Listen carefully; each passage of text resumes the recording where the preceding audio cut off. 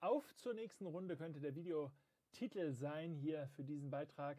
Denn wir sind nach dem Feiertag wieder on track und der Markt zeigt sich, auch wenn wir hier im DAX sehen, durch ein Minus-Gap erstmal ein bisschen gebeutelt, aber wieder zurück auf alter Stärke. Also wir haben unsere alten jüngsten Hochs, die wir so in den letzten Tagen hier hatten. Wir sehen das hier noch so ein bisschen wieder erreicht und damit ist eigentlich unsere Jahres, äh, nicht, nein, nicht die Jahreshochmarke, die sowieso, sondern unsere Allzeithochmarke wieder in Rufweite. Wir sind ja immer noch in dieser Zone zwischen diesen beiden Bereichen und können äh, damit rechnen, dass wir hier dann auch das äh, Allzeithoch tatsächlich nach oben noch mal rausnehmen. Es sieht also gut aus und äh, der aktuelle Schub, den wir gesehen haben, der spricht natürlich wieder Bände. Das ist genau das, was wir immer wieder ansprechen. Das gibt es im größeren Bild hier auf Stunde, Schub hoch, A, B, C runter. Wenn wir sowas nachher hier noch kriegen, vielleicht heute im Laufe des Tages, vielleicht auch erst morgen, aber nachdem wir hier irgendwie so eine Bewegung haben, die etwas so aussieht und dann macht er sowas, hey, das lockt doch förmlich nach einer Fortsetzung nach oben und endlich hätten wir dann die Chance, dass wir nach oben dann rauswandern und dann spricht dann auch dieses Hoch endlich rausnehmen. Und dann, naja, eigentlich, wenn wir diese Zone hier tatsächlich verlassen, das ist nicht gesagt, dass das Allzeithoch dann automatisch uns aus dieser Zone rausbringt, denn das geht noch hoch bis ungefähr 13.700, in etwa zumindest für den Index, dann wäre aber die nächste Marke irgendwo vielleicht bei 14.100. Also das ist zumindest mal dann etwas, äh, was wir uns dann vormerken müssen, dann wäre auf jeden Fall erst noch mal Platz.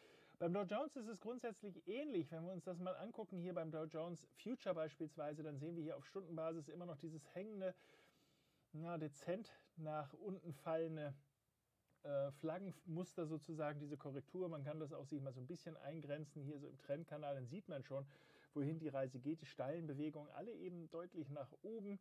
Wir sehen das hier auf Tages, nein, im jeden Fall 4-Stunden-Basis, die Bewegung hier hoch, dann äh, hier diese, nach diesem runtergewackele dann jetzt tatsächlich die Fortsetzung nach oben. Und auch intraday, wenn man hier so im 5-Minuten-Chart guckt, sieht es schwer danach aus, als ob die starken Bewegungen hochlaufen und die schwachen Bewegungen eben runter.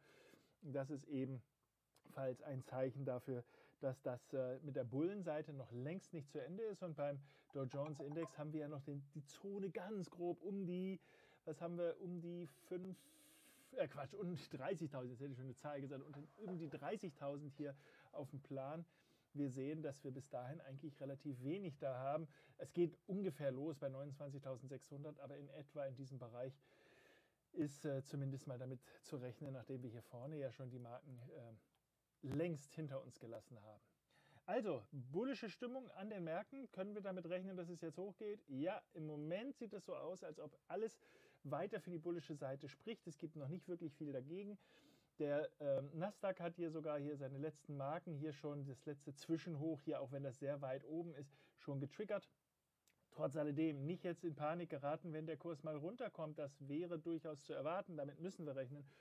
Aber solange das Korrektiv eben passiert, ist alles super. Und im Gegenteil sogar noch eine Bestätigung der Aufwärtsrichtung. Also da ist der Glaube für die Bullen immer noch überwiegend und äh, dürften wir daran festhalten. Was ich im Moment ganz spannend finde für die Fortgeschrittenen unter uns ist vielleicht das, was wir beim Goldkurs sehen, denn da sind wir nach dem Hochpunkt über der 1600er Marke sehr impulsiv nach unten gekommen. Ich habe das hier im 30-Minuten-Chart und dann haben wir eine ABC hoch, aber zu niedrig für meinen Geschmack. Ich habe es ja immer wieder angesprochen, die 38er Marke. Es geht schon, aber es ist eigentlich eine Stufe zu niedrig. Also ABC nach oben, anschließend ABC nach unten und jetzt wieder ABC nach oben. Der Profi wird möglicherweise sagen, ist das nicht ein Double Sideways? Das ist eine bestimmte Korrekturformation, die ein bisschen strange ist, weil dieser Punkt hier sogar tiefer liegt als der Startpunkt. Wer das jetzt alles noch nicht gehört hat, der ist eingeladen, zum Beispiel bei Trade to Go mitzumachen. Dort erklären wir genau solche Phänomene, wie man sie erkennen kann, wie man sie ausnutzen kann, wie man daraus dann die nächste Bewegung eben ableiten kann. Also dementsprechend auf den Link hier bei äh, mal klicken.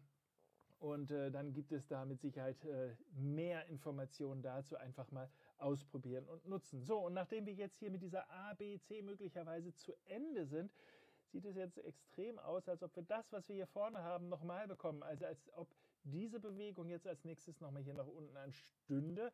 Und wir dürfen nicht vergessen, wenn wir sowas bekämen, das wäre im Zuge dieser gesamthaften Bewegung ja wirklich nichts Dramatisches, wo man sagen muss, oh Gott, oh Gott, das darf nicht sein. Nein, das seinerseits würde uns wieder irgendwo in die Bereiche um die 61,8er Fibonacci-Marke bringen, die ja typisch für ein Rücksetzerniveau ist. Also in Wirklichkeit alles Babene, allerdings mit Blickrichtung hier beim Gold aktuell eher auf die Abwärtsseite. Gucken wir uns dann ganz zum Abschluss nochmal auf den Euro.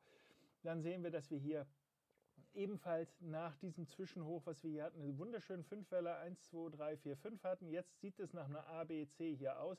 Dementsprechend kann ich mir extrem gut vorstellen, vielleicht gucken wir uns das mal im, machen wir das mal hier auf Stundenbasis hier parallel.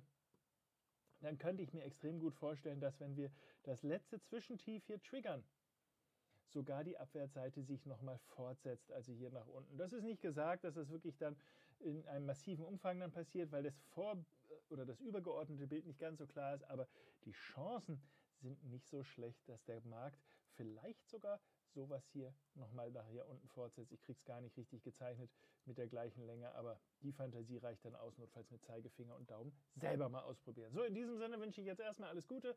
Toi, toi, toi für heute. Nachrichten können wir nochmal eben gucken. Wir sind ja schon eine fortgeschrittene Stunde, das heißt, wir haben heute eigentlich nichts auf dem Plan.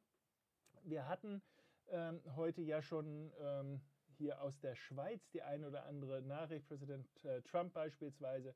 Wir hatten heute Morgen den äh, ZDW Economics Sentiment, der ist deutlich besser ausgefallen als äh, angenommen und äh, dementsprechend ja auch die ganz gute Stimmung, die wir da jetzt am Markt gesehen haben. Also auch für, den, für Deutschland haben wir hier die Situation sehr, sehr viel besser und damit eigentlich gute Voraussetzungen für weiter steigende Notierungen. In diesem Sinne drücke ich die Daumen, dass alles gut geht. Für wer will, guckt sich auch noch den Trade des Tages an, den wir ja regelmäßig veröffentlichen mit einer Trading-Idee.